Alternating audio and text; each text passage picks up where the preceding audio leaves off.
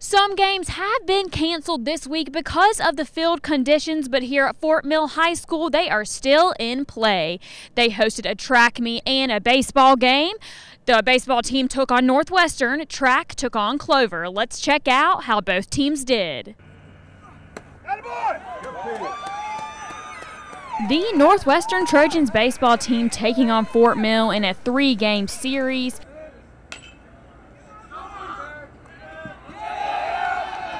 The Trojans have only lost one game so far this season. Now here's a look at the second game of the series with Fort Mill being the host.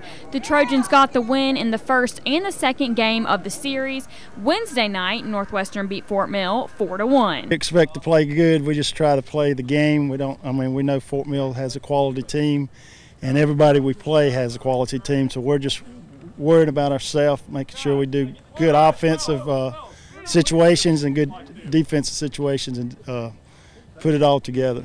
Last game of the series will be Friday night at Fort Mill starting at 6:30. The Fort Mill track team hosted a dual meet taking on Clover, something the team does every season.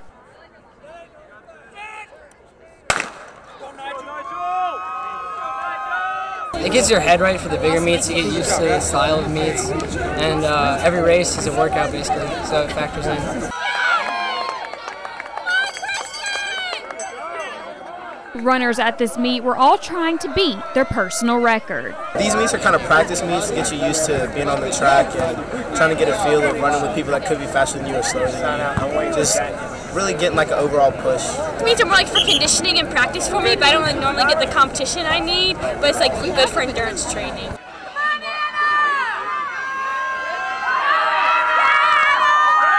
And the weather wasn't on their side. Really cold, Clover meet's usually cold, but everyone's just out here trying to PR and get a good time today. I think it makes it hard, especially on sprinters, because it's hard to get your muscles moving and you don't want to pull anything.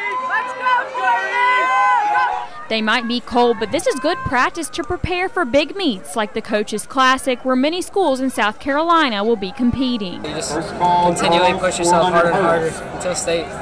Here is a look at your CN2 digital scoreboard from some Wednesday night high school games. In baseball, Chester Cyclones beats Blacksburg. The Cougars team beats Rock Hill in a close one 4 to 3. In golf, York gets its first win of the season over rival Clover. In boys soccer, Andrew Jackson beats Lancaster in overtime. And the Lancaster boys tennis team gets the win over Westwood.